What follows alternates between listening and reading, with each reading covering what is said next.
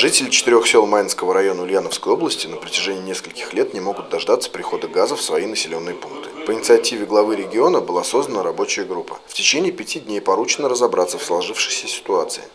По состоянию на сегодня, э, что мы констатируем?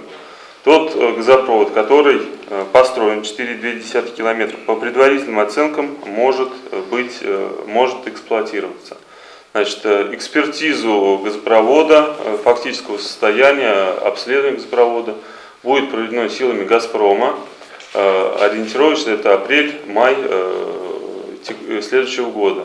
Нам нужна сухая погода, сухая почва для того, чтобы провести экспертизу состояния газопровода. Э, для того, чтобы продолжить работы, необходимо получение экспертизы, соответственно, выделение 500 тысяч рублей для прохождения экспертизы на межпоселковый газопровод.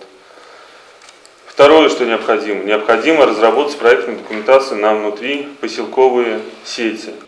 Строительство межпоселкового газопровода на три села было начато в 2005 году. Однако требования к экспертизно-проектной документации изменились. За счет муниципальных средств был разработан новый проект, который с 2014 года находится в госэкспертизе. Заключение не получено в связи с отсутствием финансирования.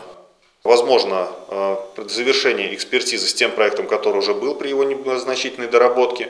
Однако есть необходимость разработки проектно-сметной документации внутрипоселкового газопровода, который сейчас уже пришел в негодность, но Стоит отметить, что построен он был не за счет средств налогоплательщиков, это был построен за счет внебюджетных средств, хотя это тоже недопустимо, э, так, так сказать, относиться к имуществу.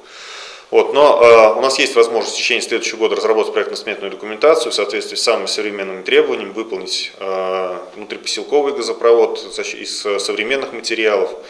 Э, и э, в 2018 год уже мы закладываем, будем закладывать средства по итогам разработки проектно-сметной документации на строительство этих газопроводов как межпоселка, так и, соответственно, внутрипоселковых э, газопроводов. Эльвира Зималова, Юрий Конихин, Новости Ульяновская правда.